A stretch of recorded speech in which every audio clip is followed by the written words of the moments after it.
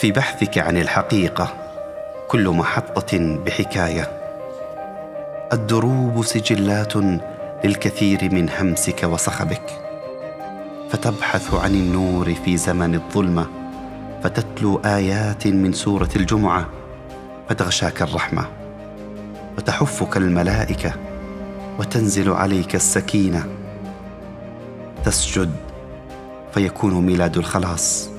وزمن التمكين بضع سنوات وتنعى بضع سنوات ثم تنسى وما كان لله يبقى لذا تسمع قصص الغابرين فتشحن رصيدك ويعلو إيمانك وتقول هكذا كانوا وبقي الأثر.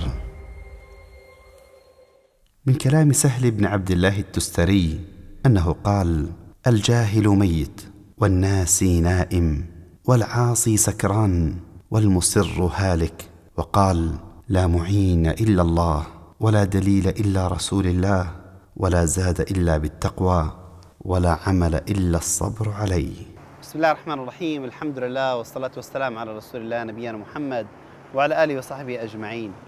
إذا رب العالمين أوصى بالجارية وأوصى بالفتاة في خدرها وأوصى الفتاة وأوصى بالنساء خيرا فإنهن خلقن من ضلع أعوج. إن أردت أن تقوم كسرته لذلك رفقا بالقوارير رفقا بهن يا كرام. قد تكون هذه الإنسانة هذه الفتاة رب العالمين أكرمك وجعلها زوجة لك. أكرمك أنت بأن هذه قبلت فيك.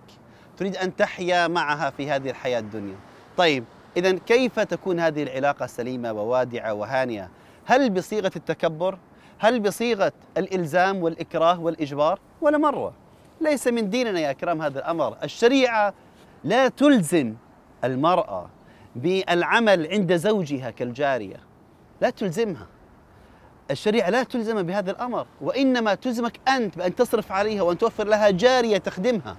هذه الشريعة يا كرام شريعة دين الله سبحانه وتعالى. لذلك كثير ما نجد من الناس من يتفنن في كيفية إذلال زوجته أو كيفية إدخال المقت والغضب على قلبها. إذا كان من أفضل القربات الله سرور تدخله على قلب امرئ مسلم. كيف إذا كانت هذه هي زوجتك الصالحة التي سوف تعينك على قضاء الله وقدره سوف تعينك على الأحداث في هذه الحياة الدنيا.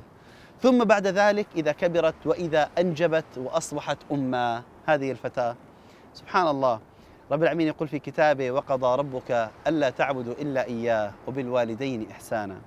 إما يبلغن عندك الكبر أحدهما أو كلاهما فلا تقل لهما أف أف لا تقل لهما أف ولا تنهرهما وقل لهما قولا كريما واخفض لهما جناح الذل من الرحمة وقل رب ارحمهما كما ربياني صغيرا. يا الله. بهذا الشكل وبهذه الآية العظيمة رب العالمين يخبرنا ويقول أيضا وصينا الإنسان بوالديه حملته أمه وهنا على وهن وفصاله في عامين. أن اشكر لي ولوالديك إلي المصير. يخبرنا الله سبحانه وتعالى ووصينا الإنسان بوالديه إحسانا. إذا الآيات العظيمة من القرآن الكريم توصي الإنسان دائما دائما دائما دائما بأنه بمعنى الكلمة يخفض لوالديه جناح الذل وجناح الإحسان. كم رأينا وشاهدنا من قضايا البر وقضايا العقوق. إنسان يبر بروا بآبائكم تبركم أبناؤكم. والعقوق وعقوق الوالدين كالدين سوف يكون القصاص منك ومن أولادك. قضية واضحة يا كرام واضحة وضوح الشمس. إذا اخفض لهما جناح الذل من الرحمة تذلل لوالديك. الله يا كرام يبقى الإنسان رجل. حتى إذا ماتت أمه شاخ فجأة. وصلت فيه الشيخوخة إلى أعلى مرتبة. يبقى الإنسان الإنسان سعيد في هذه الحياة. لديه حضن يأويه ولديه أم تدعو له بالخير والرحمة. ابن عباس عندما مات والديه بكى. كثير من الصحابة عندما مات أباؤهم وأمهاتهم بكوا. عندما سئلوا لما تبكون؟ قالوا لا نبكي يعني جزع من قضاء الله وقدره وإنما باب من أبواب الجنة قد أغلق. يا الله إلى هذه الدرجة وأكثر من ذلك. وقال الجنة تحت أقدام الأمهات. والقضية يا كرام بأن الإنسان سبحان الله إذا أنا أخذت منك قلم عشان أكتب فيه برجع لك إياه وبحكي لك شكرا. هيك تعلمنا وهيك تربينا كلياتنا. فما بالك إذا إنسان أعطاك وقف معك وأعطاك مال؟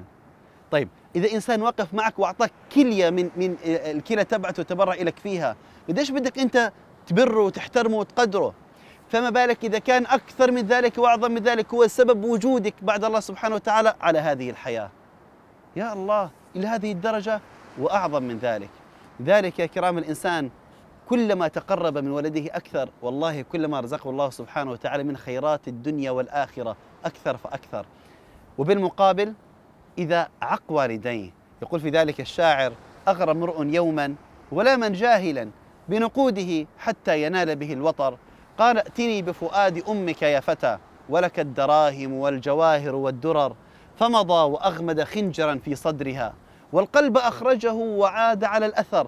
لكنه من فرط سرحته هوى. لكنه من فرط سرعته هوى. فتدحرج القلب المضرج إذ عثر. ناداه قلب الأم ولدي حبيبي. هل أصابك من ضرر؟ فكأن هذا الصوت رغم حنوه. غضب السماء به على الولد انهمر. فسل خنجره ليطعن نفسه طعنا. ليبقى عبرة لمن اعتبر. ناداه قلب الأم كف يدا. ولا تطعن فؤادي مرتين على الأثر. هذا هو حال قلب الأم. ذلك أتى رجل إلى عبد الله بن عمر وهو يحمل أمه على كتفه قادم بها من اليمن إلى مكة عند الملتزم يطوف بها حول الحرم ويقول يا أمير يا يا يا صحابي يا عبد الله بن عمر يا إمام يا شيخ هل تراني قد أديتها حقها؟ فقال رضي الله عنه وأرضاه ولا بطلقة من طلقات ولا بزفرة من الزفرات. هذه هي الحقيقة.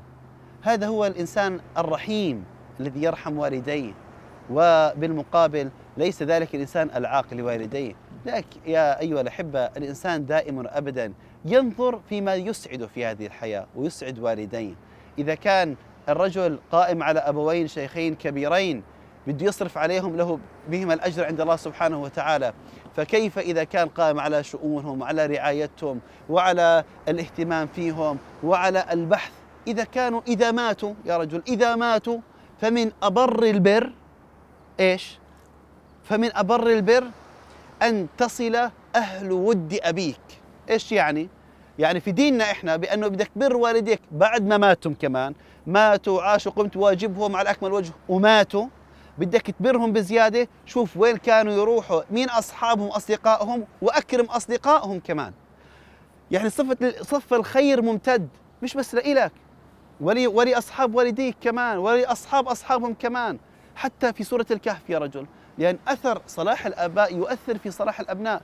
حتى في سورة الكهف في قصة الجدار قال وكان أبوهما صالحا. قصة الكهف الثلاث ال ال لما ذهب موسى والخضر عند الجدار وأهل القرية طردوهم ورد الجدار يريد أن ينقض فأقام الجدار صار يرمم في الجدار. ليش؟ أتوا إليهم الناس إليهم أصحاب هذا البناء أصحاب هذه الأرض ليساعدوهم. شو قاعدين تعملوا في أرضنا؟ لينتبهوا على هذا البناء. فتبين بأن فيه كنز لهما. طيب ليش رب العالمين أعطاهم إياه؟ قال وكان أبوهما صالحا. يا الله. اذا صلاح الأباء يؤثر في صلاح الأبناء. طيب بعد ذلك إذا ماتوا بدك تبر والديك ثم بعد ذلك يقول النبي صلى الله عليه وسلم إذا مات ابن آدم انقطع عمله إلا من ثلاث. إيش من ثلاث صدقة جارية أو علم ينتفع به أو ولد صالح يدعو له. اذا شفت كيف؟ الولد الصالح الذي يدعو لوالديه شفت كيف أنت قد تورث ابنك علم نافع. وهذا العلم تتوارثه الأجيال جيلا بعد جيل وقد تورث ابنك وتورث عيالك أولادا صالحين. عشان هيك مش مقصود بالولد هو الذكر ولكن كل مولود ولد قد تورثهم وناس صالحين. تورث من بعدك وأحفادك يأتوا ناس صالحين. تستفيد أنت منهم وتصير حصالة الحسنات عندك. تجمع الحسنات باستمرار. هذا هو المطلوب. اذا رب العالمين عندما أمر ببر الوالدين أعظم من شأن المرأة أيضا. وقال رجل سأل النبي عليه الصلاة والسلام من أحق الناس بحسن صحابتي يا رسول الله؟ قال أمك. قال ثم من؟ قال أمك. قال ثم من؟ قال أمك. قال ثم من؟ قال أبوك. إلى هذه الدرجة وأعظم من ذلك. إذا أنت الآن أمام خيار. إما أن تكرم وتعلي من شأن هذه المرأة التي ولدت نصف المجتمع وسوف تلد النصف الآخر أو تعيش أنت في بوابة بوابة من وتدخل إلى عالم من الظلمات عالم لا يسامحك فيه أحد عالم تظلم أي إنسان أمامك في هذه الحياة أو تمقتها أو بتنكد عليها عيشتها وأنت بالنهاية أنت الذي سوف تخسر لأن المعادلة واضحة عند رب العالمين. فمن يعمل مثقال ذرة خيرا يره ومن يعمل مثقال ذرة شرا يره والله هو الغالب.